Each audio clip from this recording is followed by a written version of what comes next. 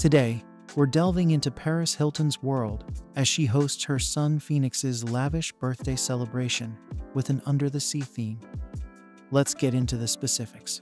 On January 16, 2023, Paris Hilton and her husband Carter Reum welcomed their son Phoenix into the world through surrogacy. In honor of her child's first birthday, Paris made the decision to plan an amazing celebration. The party's theme, Sliving Under the Sea, was a lighthearted reference to both the undersea realm and the well-known Paris's phrase, sliving. The event transported guests to a fantastic underwater world, decked with vibrant decor, aquatic life, and a breathtaking background inspired by the ocean. Paris gave us a preview of the lavish event by posting party highlights on her social media account.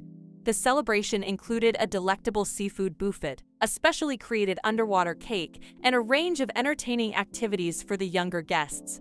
The event was, as one might assume, star-studded, with well-known figures from the entertainment industry present. Renowned for her extravagant birthday celebrations, Paris Hilton did not let us down this time either.